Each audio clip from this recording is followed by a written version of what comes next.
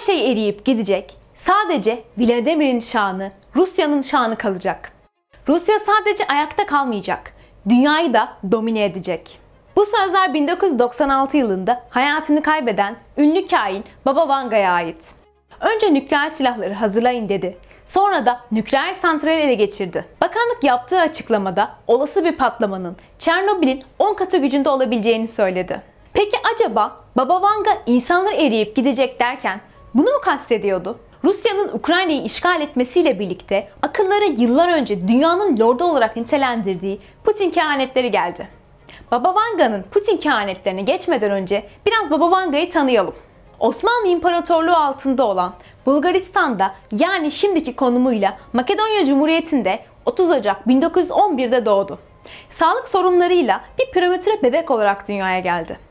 Bu yüzden hayatta kalıp kalmayacağı belli olana kadar yerel geleneklere göre kendisine isim verilmemişti. Hayata tutunduktan sonra iyi haber anlamına gelen Vangelia adı konulur. Vanga'nın çocukluğu yoksulluk ve imkansızlıklar içinde geçmiştir. Kardeşlerinin bakımı ve ev işleriyle uğraşan Vanga'nın en sevdiği oyun başka bir odaya cisim yerleştirerek sonra da onu bulmaya çalışmaktır. Gözlerini kapatıp kör taklidi yaparak cisme ulaşmaya çalışan küçük Vangelia bu oyunuyla ailesinde endişeye yol açar. Hayatındaki dönüm noktası ise bir kasırga. Bir kasırga Vanda'yı 2 kilometre uzağa attı. Vanda bulunduğunda gözleri kum ve tozla kaplıydı. Bu yüzden şiddetli ağrıları nedeniyle gözleri açılamadı. Hiçbir iyileştirme çabası sonuç vermedi. Az bir parayla da olsa kısmi bir operasyon geçirdi. Bu yüzden tekrar görebilmesi mümkün olmadı. Talihsiz kazadan sonra Vanda'da gözle görülür değişmeler gözleniyordu. Garip şekilde düşünceli bir hale bürünüyor, kendi içine dalıyor, etrafına görmeyen gözlerle bakıyordu. 1925 yılında Vanda, Zemun kentinde körler okuluna götürüldü ve orada 3 yıl geçirdi. Ailesi maddi olarak çok zayıftı. Bütün gün çalışmak zorunda kaldı. Vanda önceki yıllarda oldukça sağlıklıydı.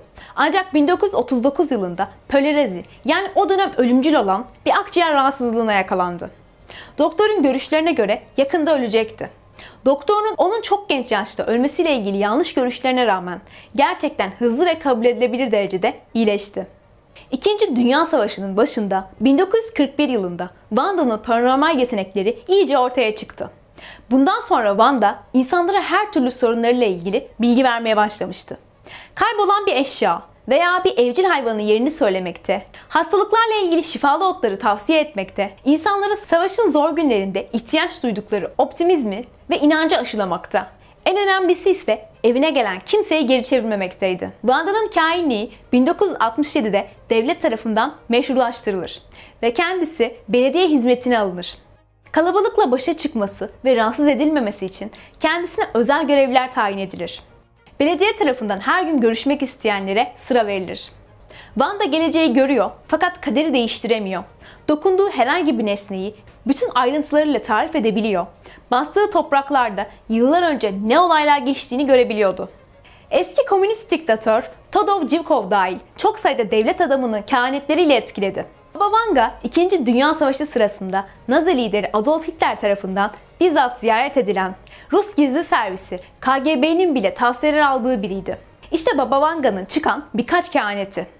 Pakistan, Çin, Japonya ve Alaska'nın sular altında kalacağını, Asya'da 7,5 büyüklüğünde bir deprem olacağını, Rusya'nın bir meteor düşmesinden etkileneceği, İngiltere Avrupa Birliği'nden ayrıldıktan sonra kıtanın büyük bir ekonomik krizden etkileneceği gibi kehanetleri de mevcut. Baba Vanga'nın kehanetleri bunlarla sınırlı değil. Söylediğine göre 2100 yılına kadar teknoloji yapay bir güneş inşa edecek kadar gelişmiş olacak. Henüz gerçekleşmemiş kehanetleri dışında Baba Vanga'nın gerçekleşen kehanetleri de var. Peki Baba Vanga'nın 2022 kehanetleri neler? Doğal afetler, depremler ve tsunamiler. Baba Vanga, Avustralya ile birlikte birçok Asya ülkesinde benzer doğa felaketlerinin yaşanacağını öne sürdü. Bu bölgelerde sel felaketinin yaşanacağı da tahmin ediliyor. Ölümcül virüs keşfedilecek. Koronavirüsü salgının Omikron varyantı ile birlikte etkisini sürdüğü bir dönemde Baba Vanga yeni bir felaketin sinyalini verdi. Baba Vanga Sibirya'da ölümcül bir virüsün keşfedileceğini açıkladı. Donmuş bir alanda gizli duran ölümcül virüsün küresel ısınma ile birlikte ortaya çıkacağını kaydetti. Virüsün yayılacağı ve hızla kontrolden çıkacağı da öngörüleri arasında yer alıyor. İçme suyu krizi. Baba Vanga'nın gelecek yıl için öngörüleri arasında içme suyu krizi de yer alıyor. Baba Vanga'nın açıklamalarını yorumlayan uzmanlar birçok şehirde içme suyu sıkıntısı yaşanacağını ve nüfus artışı ve kirlilik sebebiyle bu sorunun ortaya çıkacağını dile getirdi. Kıtlık yaşanacak. Baba Vanga dünyanın en kalabalık nüfusuna sahip ülkelerden Hindistan'da çok büyük ölçekli bir kıtlık yaşanacağını duyurdu. Hindistan'da hava sıcaklığının 50 santigrat dereceye çıkacağını öngörürken ünlü kain açıklamalarında çekirge ve benzeri canlıların tarlaları işgal edeceği ve ürünlere zarar vereceğine dair yorumlar yapıldı. Sanal gerçeklik geliyor. Baba Vanga'nın yorumlarını değerlendiren uzmanlar, ünlü kainin sanal gerçeklikle ilgili açıklamalarda bulunduğunu öne sürüyor. Rusya'nın Ukrayna'yı işgal etmesiyle birlikte Baba Vanga'nın yıllar önce yaptığı bir diğer kehanet de akıllara geldi. Şimdi gelelim Baba Vanga'nın Putin kehanetlerine.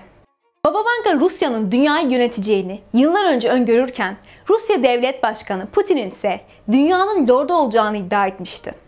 Vladimir'in çağını kalacak. İngiliz basını başta olmak üzere birçok medya kuruluşunda 2018 yılında Baba Vanga'nın kehanetleri ortaya çıkmış ve ünlü kainin 1979'da Rusya'nın güçleneceğini söylediği iddiası gündem olmuştu. Medyada yer alan haberlerde Baba Vanga her şey eriyip gidecek, sadece Vladimir'in şanı, Rusya'nın şanı kalacak. Rusya sadece ayakta kalmayacak, dünyayı da domine edecek demişti. İngiliz tabloid gazetesi The Sun'da yer alan haberde Baba Vanga'nın bu açıklamayı yazar Valentin Silodovar'a yaptığı da kaydedildi.